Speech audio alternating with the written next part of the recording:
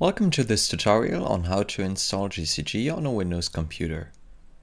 First we want to go into the installation guide and install the Windows subsystem for Linux. In order to do that, please follow the instructions given by Microsoft. They might update over time, so this is just an example. Note that you'll have to run the PowerShell in administrator mode.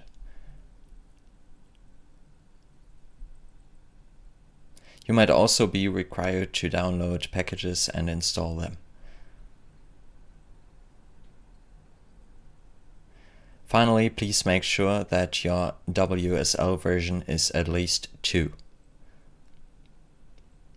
Then you are ready to install Ubuntu.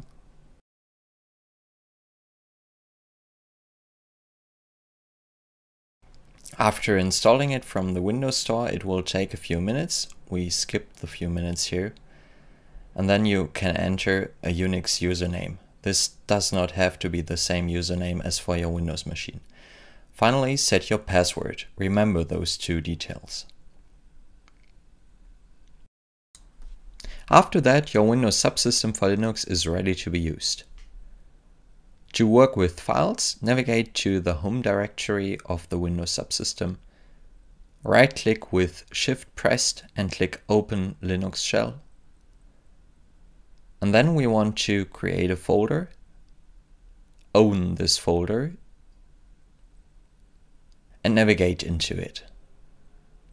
Next, we install GCG. We download the automated installer and the most recent SCIP optimization suite tar.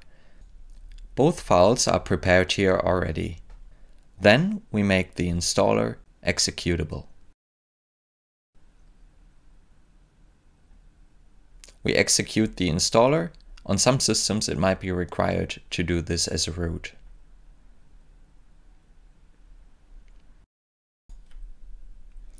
You have to confirm that you really want to install the suite and whether you want to check if the requirements for the installation are fulfilled.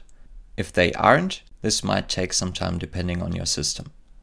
Then enter the path to the SCIP tar file. The script will unpack the file and it will ask you how you want to install GCG and the SCIP optimization suite. We recommend Makefile for Windows systems. After the compilation is completed, the script will ask you if you want to conduct a test. Answer with yes.